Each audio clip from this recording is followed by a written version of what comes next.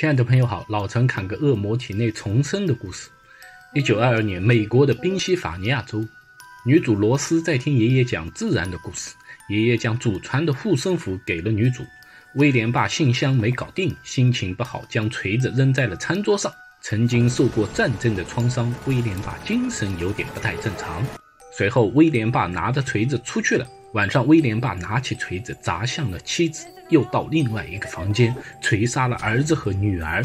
女主听到动静，逃到了外面。威廉爸跑了出来，大喊：“我会做到的，让你自由！”看到女主，威廉爸要让女主获得自由。爷爷拦住了威廉爸，让女主快跑。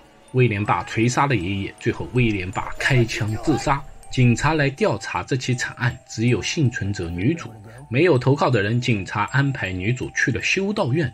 转眼间，十年过去了，女主成为了一名虔诚的修女。童年的伤痛让女主一直有阴影。女主觉得手冷，洗东西的时候听到滴答的声音，我来找你了。女主拿出护身符，不断的祷告。院长发现女主的异常，女主否认了这一切，只是说手太冷了。米神父经常关心女主，对女主是特别照顾。晚上，女主睡觉开始做噩梦，好像有东西进入了女主体内生长。这样的梦十年来一直出现。外面继续下雪，女主早上醒来感觉很冷。修女们都受过生活的创伤，而女主一直没有下定决心终身效忠上帝。女主会去忏悔室向神父祷告，一直听到滴答的声音。神父安慰女主：“那是你坚定的信念啦，所以当年逃过了劫难。”米神父听到了女主的忏悔，认为女主的父亲在女主体内重生了。滴答滴答的声音又来了，一只黑色的手抚摸着女主。女主听到一个声音，杀了他们。晚上睡觉，女主梦到恶魔在黎明出现，院长和神父在为女主驱魔。祷告中，女主突然一声吼叫，女主跑了，看到墙上都是黑色的影子。随后，女主又被驱魔了，外面的神像都流出了血水。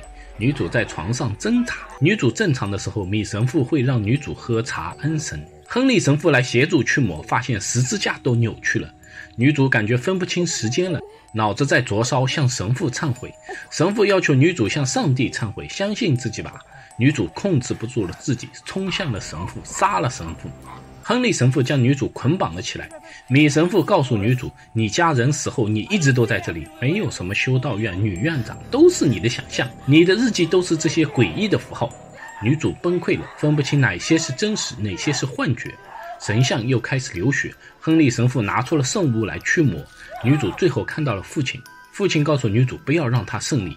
女主挣脱了绳子，杀了亨利神父，又抓飞了米神父，点燃了教堂。只有燃烧自己，女主才能在火焰中获得解脱。米神父没有死，上了列车。米神父看着女主留下的日记，所有的一切都是他搞的鬼，经常给女主下药，造成精神错乱，造谣自然活动和印第安诅咒，持续了几十年，拐骗了无数的女子。